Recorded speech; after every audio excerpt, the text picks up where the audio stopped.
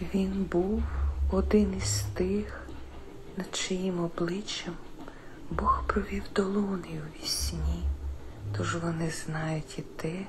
чого не знають, наповнюються здогадами та підозрами,